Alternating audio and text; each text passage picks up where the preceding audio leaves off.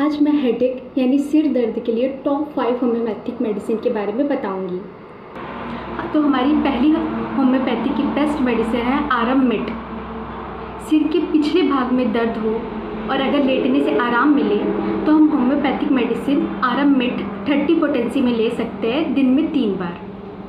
हमारी दूसरी homeopathic medicine है सेंगुनेरिया अगर सिर या माथे में दाई और दर्द दे तो हम homeopathic medicine sanguinaria thirty potency में ले सकते हैं।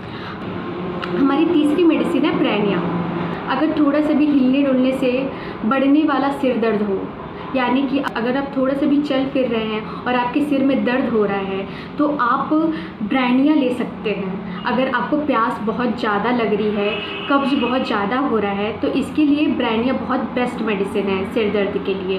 ब्रैनिया थर्टी पोटेंसी में दिन में चार बार ले सकते हैं।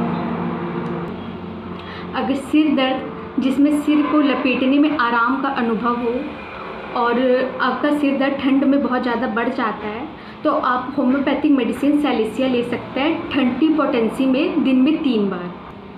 हमारी पांचवी मेडिसिन है ग्लो नाइन धूप लगने के कारण अगर सिर दर्द हो रहा है, जो धूप में बढ़े यानी कि सिर दर्द अगर आपका धूप में जाने से बढ़ रहा है और आप गर्मी को सहन नहीं कर पाते हैं तो ऐसे सिर दर्द के लिए glonoine is the best medicine तो इसे आप दिन में चार बार ले सकते हैं।